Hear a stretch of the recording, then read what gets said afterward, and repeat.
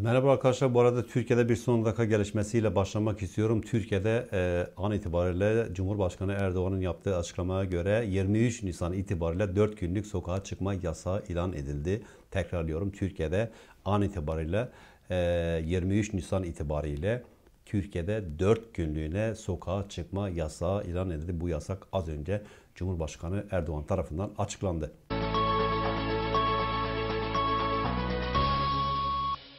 Almanya'daki bir gelişmeyle yayınıma başlamak istiyorum. Almanya'da Merkel'in bir açıklaması var. Biliyorsunuz Almanya birkaç gün önce aldığı kararlarla bugünden itibaren, pazartesiden itibaren bazı e, yumuşamalara gitmişti. İş yerlerinin bir kısmı açılmıştı. Hatta bazı okullar da açılmıştı. Buna yönelik bundan sonra Almanya Başbakanı'nın bir e, açıklaması var. Çok dikkat çekici bir açıklama bu. İhtiyat ve disiplini sürdürmeliyiz diye bir açıklama yaptı. Almanya Başbakanı Angela Merkel koronavirüse karşı alınan önlemlerin gevşetilmesi sürecinde aceleci davranılmaması uyarısında bulundu Merkel. Bakanlar Kurulu toplantısından sonra bu açıklamayı yaptı.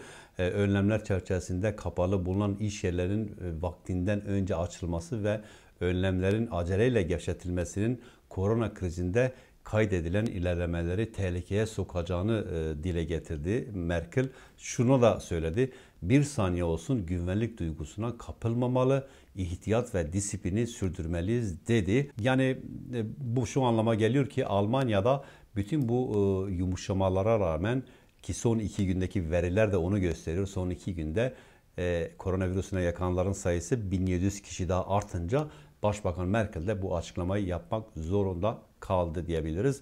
E, etkiyi ancak 14 gün sonra göreceğiz diyor. E, enfeksiyon sayısının yeniden hızla yükselişe geçmesi durumunda sert önlemlere geri dönme tehlikesi bulunduğuna dikkat çeken Merkel, bunu engellemek ekonomi için de önemli. Bugün yürürlüğe giden gevşetme adımlarının enfeksiyon rakamlarına etkisini ancak 14 gün sonra görebileceğiz daha erken değil diye konuştu.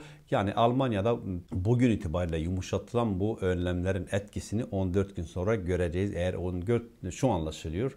Eğer 14 gün sonra hızlı bir ilerleme artış varsa vakalarda sanırsam Almanya o ilk günlerdeki gibi bütün yine iş yerlerini, mağazaları, bütün her yeri kapatacak gibi e, görünüyor. Bu arada Almanya'da maske zorunlu uygulaması da yaygınlaşıyor. Birçok eyalette bu başlatılmıştı aslında. Almanya'da koronavirüse karşı alınan önlemlerde kademeli olarak e, kimi esneklikler hayata geçirilirken eyalet yönetimleri olağanüstü, e, olağan günlük yaşama dönüşte tedbirin elde bırakılmamasından yana bu çerçevede e, hali hazırda Saksonya'da uygulanan maske takma zorunluluğunu Bavarya ve e, Mecklenburg-Vorpommern e, eyaletleri de hayata geçirmeye hazırlanıyor.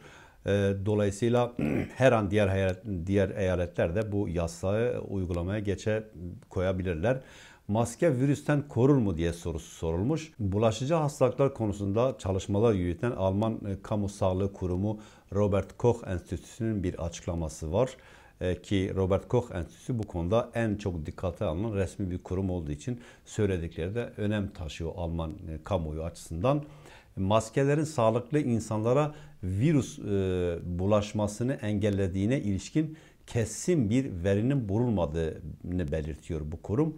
E, ancak enstitüye göre kamusal alanda ağzı ve burnu kapatan koruyucuların kullanılması COVID-19'un halk arasında yayılmasını yavaşlatmanın yani sıra risk grubunda olanları enfeksiyonlardan korumaya yarayan bir yöntem olarak tercih edilebilir. Robert Koch Enstitüsü bunun özellikle iş yerleri gibi çok sayıda insanın uzun süre kapalı alanlarda bir arada bulunduğu mekanlar ile toplu taşıma araçları ve mağazalar gibi bir buçuk metrelik fiziki e, mesafenin sağlanamadığı alanlar için geçerli olduğuna da dikkat çekiyor.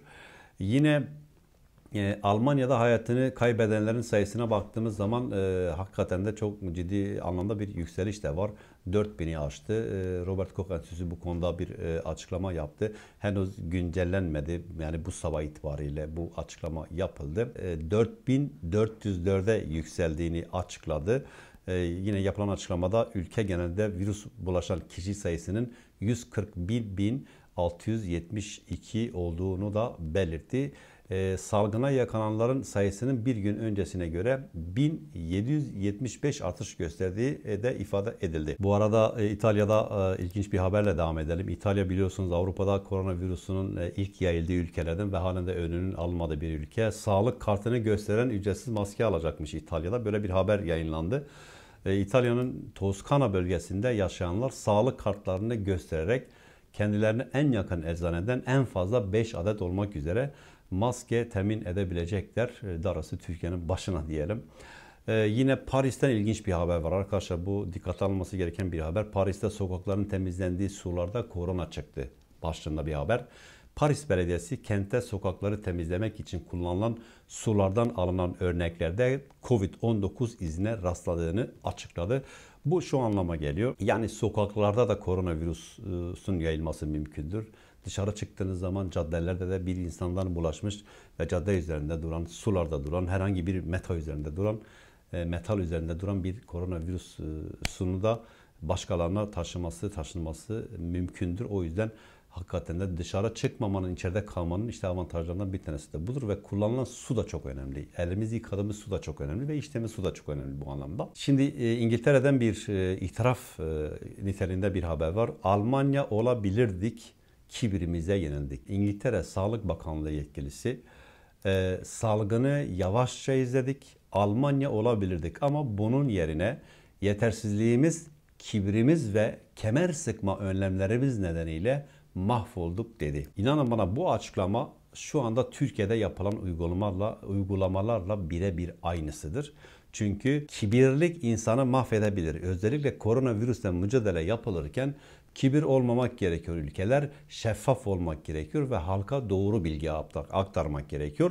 E, alınan önlemler noktasında da vatandaşı zora sokmamak gerekiyor ki mahvolmamak için. İngiltere bu anlamda bir itirafta da bulunmuş.